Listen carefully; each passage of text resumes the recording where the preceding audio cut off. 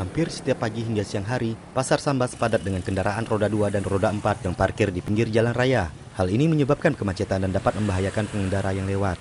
Padahal, pemerintah daerah telah memberikan rambu lalu lintas larangan untuk parkir di kawasan tersebut mulai pukul 6 hingga 4 sore. Aktivitas yang cukup padat di Pasar Sambas menyebabkan kemacetan. Penyebab kemacetan ini dikarenakan kendaraan roda 4 yang parkir di pinggir jalan.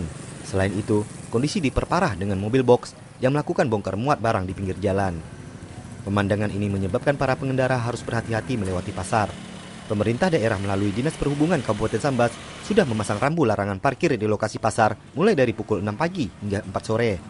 Namun peringatan Dinas Perhubungan ini masih banyak dilanggar oleh para pemilik kendaraan maupun supir truk dan mobil box yang melakukan bongkar muat di kawasan tersebut. Hal ini diakui Kepala Dinas Perhubungan Kabupaten Sambas, Jainal Abidin.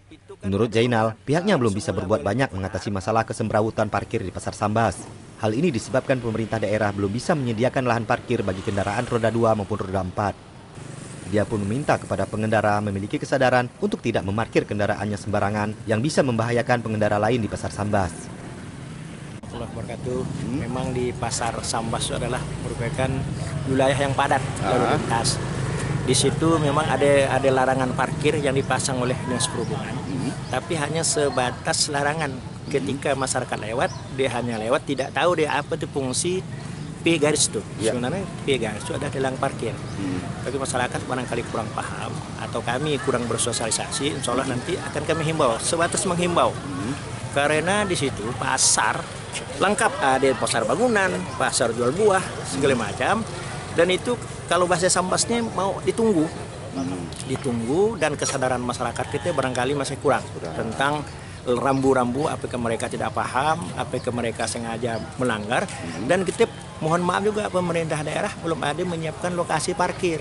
Hmm. Nah, di mana lokasi parkir itu sampai sekarang belum ada solusinya. Belum ada solusi. Lokasi belum ada. Seharusnya pemerintah, mohon maaf kami seharusnya menyiapkan lokasi parkir.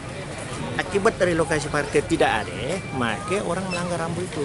Nah, oleh sebab itu sama-sama lah kita himbau kepada seluruh masyarakat pengguna jalan supaya tidak terjadi kemacetan di wilayah pasar maka haraplah tahu tentang apa sih sebenarnya makna rambu itu kalau mereka sudah tahu insya Allah mereka akan tidak parkir di situ Kepala Dinas Perhubungan Kabupaten Sambas Zainal Abidin mengungkapkan pihaknya sudah berupaya untuk membuat sebuah lokasi parkir bagi kendaraan roda 2, roda 4 maupun truk yang melakukan bongkar muat.